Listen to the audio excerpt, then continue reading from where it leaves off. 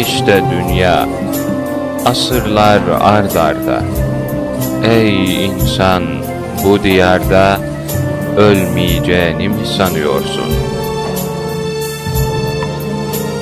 Gözlerini açtın bir gün, günler geçiyor, bugün ve dün.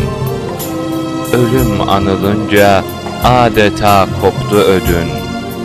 Ey insan, ölmeyeceğini mi sanıyorsun?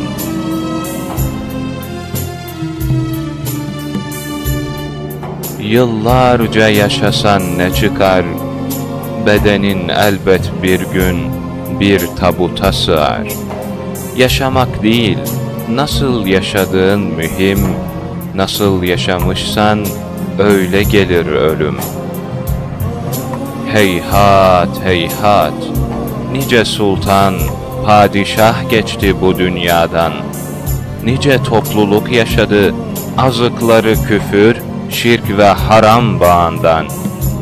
Ne kadar da kaçarsan kaç ölümden dünyada, bir uca diğer uçtan, ey insan, ölmeyeceğini mi sanıyorsun?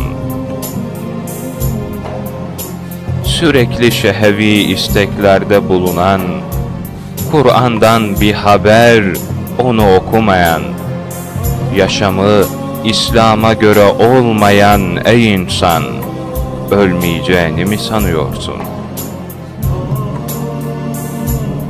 Hayatını Kur'an'a göre yaşaman gerek. Kur'ansız hayat kime gerek? Ey insan, hep sonra, sonra diyerek ölmeyeceğini mi sanıyorsun?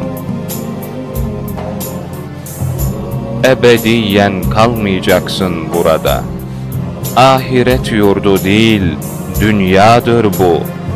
Hayırlı amelleri dizmelisin ard arda, gelip geçenin uğradığı bir handır bu.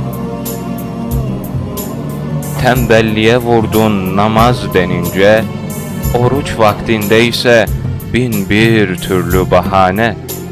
Hele zekat denince pireler girdi cebine, duydun mu? Bunlar yapılmaz ölüm gelince. Hükmü Allah'a has kıl diyene, harici dedin, şeytan bindi tepene. İnkarla karşılık verdin Allah'ın ayetlerine, unutma, iman kabul edilmez ölüm vaktinde. Ey yolcu! Kandırmasın seni dünya.